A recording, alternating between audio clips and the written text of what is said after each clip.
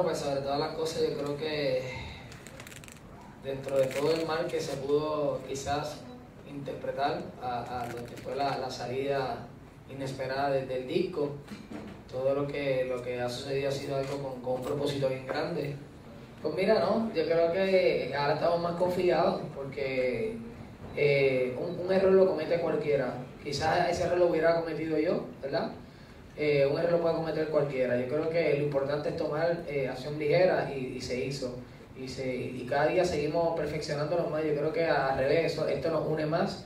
Y, cuando tú ves personas que, que, trabajan para ti con, con amor y, con pasión, el error se convierte bien pequeñito y, lo más que sobresale son las cosas buenas. Así que hay muchas cosas buenas las cuales tenemos que agradecerle y sobre todas las cosas lo más importante es el interés que una persona ponga en ti. Yo creo que, que Pino y Fidel han puesto un, interés en nosotros muy grande y eso para nosotros nos da una confianza grandísima. Y mira, gracias a Dios que salió, la gente vio el producto y en, YouTube, donde quiera que te metas, la gente lo que quiere es el, el producto original yo creo que, pues mira, de momento nos sentimos tristes porque nos dañaron la, la promoción como íbamos a ir corriendo, la que teníamos un mes de adelanto, pero a la verdad que estamos felices, estamos contentos y, y la gente quería escuchar el disco, lo escuchó y ahora vamos a comprarlo. Pues mira, pues mi familia todos, todos, todos, hasta, hasta no se quería tirar por un rico. Todo, Ida, Ida, Ida no durmió tres días, se fumó, tuvo que, se fumó como 400 cigarrillos. Todo el mundo, yo creo que eh, todo el mundo, todo el equipo de trabajo, todas las personas se sintieron muy tristes.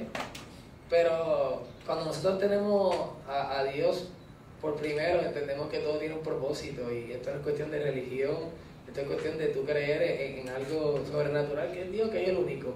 Y Él va a dar el resultado y lo está dando. El atuendo es porque es la representación de aquellas, de aquellas personas que quieren luchar y quieren seguir hacia adelante. Que quizás a veces no tenemos estas cortaduras porque están por dentro, en nuestro interior, pero sí las tenemos.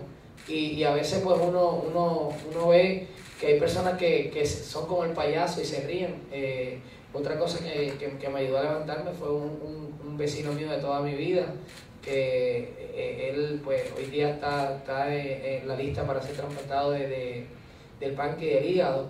Y estuve en casa en estos días y me decía, mira Tito, a mí todo el mundo me dejó solo. ¿Por qué? Porque yo me veo bien por fuera, pero por dentro estoy destruido.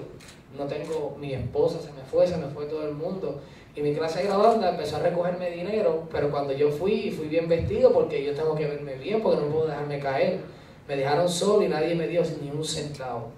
Y estas cosas son las que me han ayudado. Entonces, ¿qué yo les quiero mostrar a ustedes con esto? Que quizás hoy ustedes las ven, pero no significa que hay personas que no las tengan y las tienen por dentro, que lo importante es seguir hacia adelante, luchar y perseverar. Nosotros, tanto nosotros como compañía, como la compañía discográfica mía también, nosotros estamos quizás cortados, quizás heridos, porque son personas que, han invertido su tiempo también eh, y han creído en mi proyecto, pero estamos listos para dar la batalla y para hacer el mejor álbum que se haya escuchado en la década de, que lleva la música de reggaetón eh, las dos décadas que lleva este género y lo que nosotros queremos es marcar la historia, no porque se pirateó, no porque, no, no porque quizás puede pensar la gente, mira, a ti te lo pirateó para, para hacer, a llamar la atención, yo nunca he llamado la atención de forma negativa.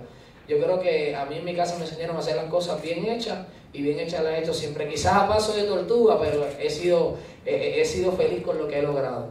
Imagen tuya bastante extraña en esta rueda de prensa. ¿A qué viene esta imagen que tú nos presentas en el día de hoy? Bienvenido a República Dominicana, Tito. Pues mira, sobre todas las cosas, eh, la imagen es de una persona luchadora, de una persona que no se da por vencido, un sobreviviente de, miles de batallas. Y nada, eh, eh, el álbum es un álbum te podría decir que el mejor álbum que se haya trabajado durante las dos décadas de, reggaetón, un super álbum lleno de rico musicalmente, tiene super perreo, tiene más música eh, más romántica, tiene bachata, tiene merengue, tiene de todo, es un iPod, no tienes que comprar eh, otras cosas, ya tú tienes ahí un iPod, escuchas todo tipo de música y puedes disfrutarla, el patrón disco de platino obligado, no es para nadie. Eh, Fíjate las ironías de la vida, Tito. Este disco tuyo ha sido exitoso como pocos discos en la historia de, la música urbana, porque ya te ha salido un poco del reggaetón. Pero este disco tuvo que salir antes de tiempo al mercado porque fue pirateado. Háblanos de esta experiencia eh, tan surreal que tuviste. Pues mira, peleando la buena batalla, yo creo que lo importante es no darse por vencido y luchar y, encontrar lo que tú quieres encontrar dentro de, cualquier eh, dificultad que pueda haber en el camino. Nada, estamos felices, vamos a dar la buena batalla y vamos a pelear como luchadores y como lo que somos y sabemos que tú vas a estar muy pronto aquí en nuestro país. Estaremos en República Dominicana haciendo diferentes conciertos. Mucha gente buena, gente, gente que apoya mi carrera y gente que, que, siempre ha respetado lo que hago y son las mismas personas que están apoyándome en esta situación de la piratería, mis fans. Y nada, quiero agradecerle a todos por, por lo que han hecho por mí y vamos a estar con, con toda la comunidad dominicana eh, apoyando, apoyando lo que, lo que es el patrón y apoyando pues a todos mis fanáticos y todos mis fans que, que, que apoyan mi música. Tito, te mandamos un abrazo muy grande. Gracias por compartir estos minutos con tu público dominicano que espera verte con Dios delante la próxima semana. Despídete de tu público. Gracias a todos mis hermanos dominicanos, los quiero de corazón, los respeto y sigan hacia adelante. Que viva Quisqueya con el patrón conectado. Dios los bendiga. Tito el Bambino, el patrón. Ahí estuvo Tito el Bambino con nosotros desde Puerto Rico, que va a estar en nuestro país la próxima semana, si Dios lo permite, para todos sus fans, que son una legión de seguidores que tiene Tito desde sus inicios y yo creo que en esta última producción se agrandó más esa cantidad de seguidores porque la verdad es que está extraordinaria. Tiene una musicalización excelente, las letras son bellísimas y pienso también que la voz de Tito se luce en este tipo de producción.